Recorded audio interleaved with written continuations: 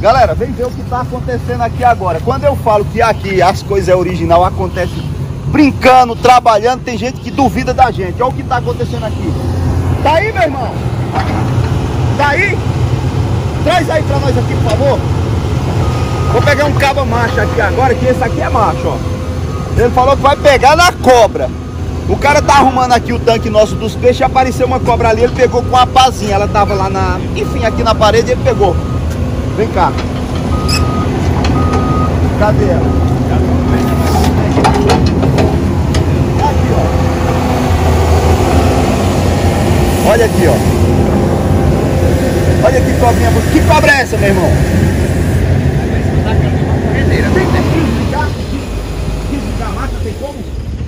Aí, boa, boa. Por causa do barulho, por causa do barulho do. Meu irmão, onde foi que você pegou ela? Tava lá do outro lado. Cavando ela, bum.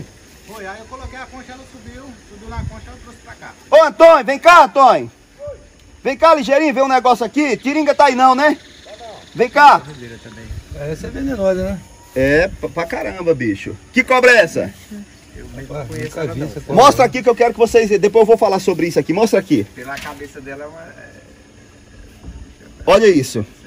Mas tu tá me chamando de modo espiar o que mesmo? Vem aqui olhar aqui um negócio aqui. Vem cá, vem cá. Vem cá.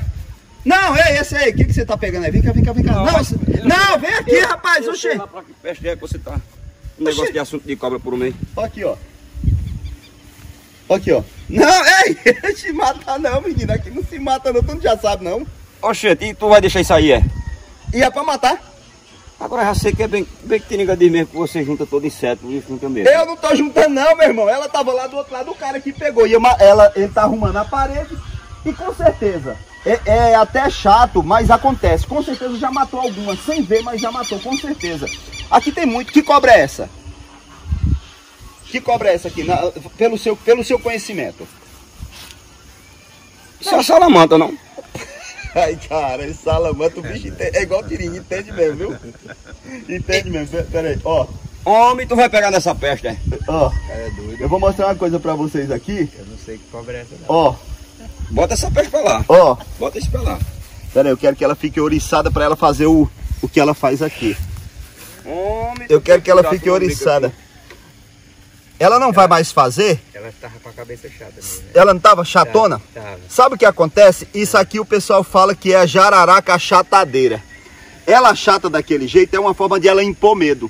Isso é uma cobrinha d'água, conhecida também como cobra do capim, não tem veneno. Ela, por que cobra d'água, cobra do capim? Ela fica sempre nessas beiras d'água onde tem aquelas ranzinhas. Ranzinha é pequenos anfíbios é- e ela se alimenta, é o principal alimento dela. E aí o pessoal mata muito essa cobra, morre de medo dessa cobra porque diz que ela é uma jararaca chatadeira. Que ela realmente ela parece um pouco com a jararaca. Então o pessoal fala jararaca chatadeira, não é jararaca chatadeira. E outra coisa, ela morde, viu? A chata na cara, a cabeça. É, ela morde. Só que assim, não tem veneno pra gente seres humanos. Ela tem o venenozinho pras presas dela. A Você gente- vai se confiar nessa daí que ela só tem veneno pras presas dela. Hã? e depois você. Aí você toma na pá do diabo, viu? Ó, na pá do diabo. É, você vai tomar na pá do diabo com essa brincadeirinha sua aí, viu? Deixa eu falar uma coisa pra vocês. Essa, ó, ela já entendeu que eu não sou um predador. Se eu tivesse pego ela bruscamente ali de princípio e meio que apertasse ela, aquele medo, provavelmente ela ia me morder. Como eu já peguei e tô aqui é, manuseando ela normal, sem machucar ela, ela já entendeu que eu não sou um predador, então ela já se acalmou. A forma dela é filhote ou é adulta? Não, é adulta já. Adulta já? É adulta. Isso é porque você é curado, mano. Pronto. Ah, vem com a mesma história do pai. É curado. Olha onde, é- onde gera aqueles mitos de curado. Eu sei que eu já falei em outros vídeos, eu vou falar novamente. Onde gera aquelas histórias de curado. Essa cobra morde o cara, ele tá, aí ele vai e fica com o psicológico. Ah, pronto, galera, esse cara é um fã nosso que tá aqui, veio visitar a gente, conhecer, passar um final de semana, essa semana tá com a gente aqui na chácara. E ele tá vendo o que tá acontecendo aqui. Ele pode falar, vamos, vamos dizer assim, defender a gente de alguns críticos. De alguns o que, João? Os caras que ficam criticando, né? Bom dia. Aí, olha só. É, ele veio aqui e tá na, na, na condição de fã. Você já conhecia a gente? A não ser pelo canal? Não, só pelo canal mesmo. O que você tá vendo aqui esses dias é o que você acompanha no canal? Tudo original, tudo a mesma coisa, não tem montagem de nada. Isso aí foi agora. O rapaz achou ali, ele veio para fazer a filmagem. Ah, é a cobra aí. Tem nada montado, não E- tem nada. Então, galera, é isso que eu tô falando pra você. Então, onde, onde gera aqueles mitos? Essa cobra, ela é uma cobra que ela não tem veneno pro ser humano. Quando uma- um cara que nem esse, que é bruto, bruto, rústico e sistemático, é mordido por uma cobra dessa, normalmente já tem no psicológico que ele vai morrer porque foi mordido por uma cobra. Aí o que que faz? Chama o curador. Porque o curador vai curar. E você sabe que a gente, o psicológico da gente, ele te adoece e te cura. Depende da sua fé, da sua- do seu psicológico. Ele tá com o psicológico abalado, achando que vai morrer porque foi mordido por uma cobra venenosa, que não é venenosa, mas ele até então acha que é. Chama um curador, a rezadeira, rezador, o cara reza nele. Ele entende-se que foi curado, então eu tô curado. Eu não vou mais morrer, então de psicológico melhora. Ele vai melhorando, daqui a pouco ele não tá sentindo mais porra nenhuma. Aí o que que acontece? fui curado. É onde aquele mito, não estou tirando aqui desmerecendo crença de ninguém, mas é onde aquele mito de, ah, fulano cura. Não vai nessa não, que aí o que que acontece? Tu foi curado porque na verdade a cobra não tinha veneno. Se fosse uma jararaca original, você não ia ser curado não. E aí sabe o que acontece? Quando morre, porque um exemplo, chama o curador. Beleza, aí foi curado. Não, fulano cura. Aí o cara vai lá e é mordido por uma jararaca ou por uma cascavel. Chama fulano que fulano cura. Aí vai lá e chama fulano. Fulano rezou, não curou. Aí sabe o que vai acontecer? Ela estava com veneno apurado. Por isso que não curou. Não, teve alguém do zóio ruim que olhou para ele. E tem essa- o pessoal tem essas histórias. O fulano botou olhado. Por isso que ele não, por isso que morreu. Não é nada disso, meu irmão. É assim. Tu vai, tu vai soltar lá onde? Vou soltar ali, aqui dentro, ali fora. Não vou deixar aqui mais para não correr o risco dela morrer com a máquina matar ela. Mas vou soltar aqui. Mas por quê? Tu já acha pouco, tanto que, que eu digo pra você, todo dia tem inseto aqui. Eu nunca vi ter um lugar que tem inseto mais do que esse aqui. viu? Inclusive tu, que é o pior Homem, Tu inseto. vai me comparar com uma desgraça dessa daí? Eu- Não, tu é pior. Tu é, Tu é pior, porque isso aqui, Ó. isso aqui, ó, tem a gente para controlar a superpopulação. A gente não, eu não, mas vocês aí.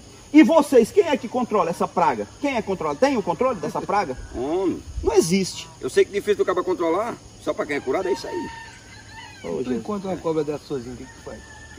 Se eu topar ela sozinha, ela resta pra eu não topar ela sozinha. Porque se eu topar ela sozinha, aí talvez ela não escape, não. Eu não vou garantir por a vida dela, não. Mas aqui dentro não. É, foi. Lá fora. Pegue ela, vai. Você pegue ela e vai soltar lá, do- lá da parede do muro. Não deixa ela aqui perto, não, porque eu dei um você. Não é brincadeira, não. Semana passada foi obrigada a gente sair pra dormir fora, rapaz. E foi mesmo. Hoje saímos pra dormir fora. Foi mesmo. Ó, e uma cobra que eu digo pra você, olha o tamanho dela. Não, pera aí, João. Pera aí. Que tamanho era a cobra? Desse tamanho aqui, ó. Eu não eu tô dizendo a você. Isso é filho de tiringa. Pera aí, né? pera aí, pera aí. Que é tamanho era a cobra? Desse tamanho. A você que você é brincadeira. E você viu, você não foi quem, você não foi quem pegou. Realmente, tinha mussurana grandona da É, porra rapaz, ali. uma cobra desse tamanho aqui, ó. Pronto, já tá você. Ah, Tá, tá. Galera, é o seguinte. É um videozinho aqui que a gente foi. Foi casual, a gente ia tomar café agora, acabamos de acordar. A gente foi tomar café, o menino gritou de lá pra cá que tem uma cobra, corre que tem uma cobra. Eu venho aqui, ó. E aí era a jararaca chatadeira. Sim, vocês viram ali que ela chata. Isso é uma forma de defesa. Ela chata pra limitar. É, aparentar maior, ma- é, impo- é um teatro. Na verdade, ela é uma, né? é uma intimidação, uma forma de intimidar. É um teatro que ela faz, mas na verdade é uma cobra que não tem veneno nenhum. Isso é a cobra conhecida como é, cobra d'água. E também tem lugar, tem pessoas que chamam de cobra do capim. Não tem veneno nenhum, faz nada. Ela chata aqui que imita meio que uma naja. Então é isso aí, galera. Eu vou soltar ela ali. Pode parar o vídeo por aí. É, não precisa mostrar eu soltando, porque vai ficar cansativo. O pessoal, eu não, eu não, eu não seguro cobra. Pode, pode ser que tenha gente que pense aí que a gente segura cobra, mas não segura. Isso aqui é o que mais tem. Quem mora no interior sabe que o que mais tem é isso. Então eu não preciso. Mostra aqui, só um negocinho. O pessoal também chama ela de jararaca do papo amarelo. Ó. Por que chama de jararaca? Mostra aqui, mostra aqui embaixo, ó. Olha. Então ela leva o nome dos que não conhecem, chama de jararaca do papo amarelo. Mas isso é uma cobrinha d'água, cobra do capim.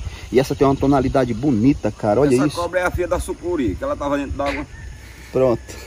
Filha da sucuri. Isso aqui é uma sucurizinha. É igual tu, filho de tiringa, né? Matador, destruidor igual ele. Bom, eu não sento pra mexer com esses insetos aí, não é comigo não. E quando eu estiver trabalhando, sendo pra espiar pra essas- esses insetos aí, não me chama mais não. Não é pra chamar mais Não, não. não me chama mais não, porque sendo pra matar, pode me chamar que eu venho e mato. Agora, sendo só pode você estar me mostrando aí, eu digo pra você. Já, já basta as que tem já dentro de casa. Aí o cara ainda trazer mais dentro da água pra botar dentro de casa de novo. Mas não, vamos, nós não vamos matar mais aqui dentro, não?